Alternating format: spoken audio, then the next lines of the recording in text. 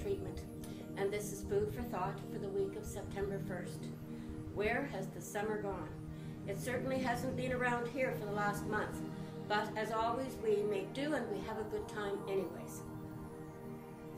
I have changed the videos and sent out a video a couple of weeks ago outlining uh, some of the changes in direction and so I will give you a link to that video and that will explain the background as to uh, what we're going to be doing in the future.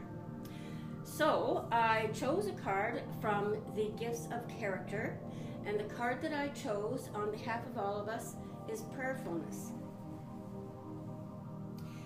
Prayerfulness is a relationship with a power greater than ourselves, one that loves us and knows us intimately.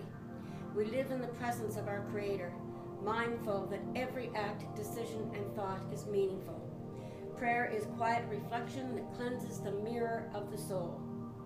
It is a sacred conversation that opens us up to forgiveness, hope, and renewed intentions. We live and receive spiritual guidance. We ask for help, heighten our awareness, and watch for it to come. Praying our gratitude keeps us in the flow of grace. And we know that the universe or source or the Akashic records uh, documents or records everything that we think, say, and do. Certainly, our unconscious mind uh, remembers everything. Our conscious mind, only 10% of us just remembers the basic things that happened in the last little bit. However, the unconscious mind remembers everything. What we rem remember at a conscious level is really just our perception of what went on around us.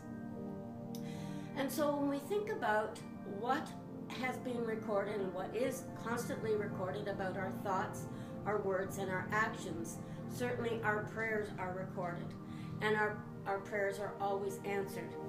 However, the ticket is, is they aren't always answered the way we might think they should be or what we're expecting. And so the uh, idea of prayerfulness too is to surrender to what the universe deems as your highest good.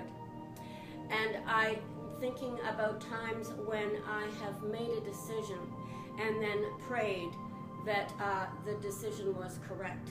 And if things didn't actually fall into place the way I thought they should, then I started the what ifs and the oh my God, oh my God, oh my God.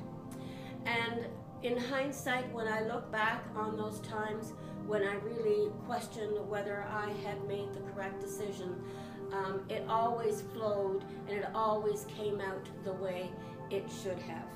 So things happen for a reason, and the result um, we really need to be unattached to, just surrender to what comes. One of the most difficult things um, that we as humans have to do. But that's our challenge.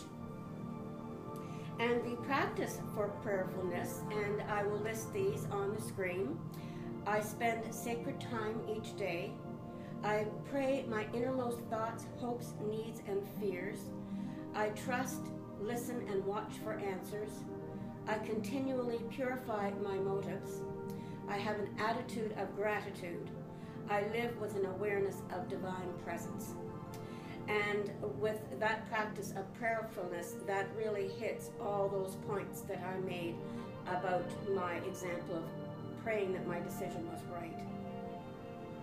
And so, with that, I'll leave you with this thought I am thankful for the gift of prayerfulness, it connects me to grace.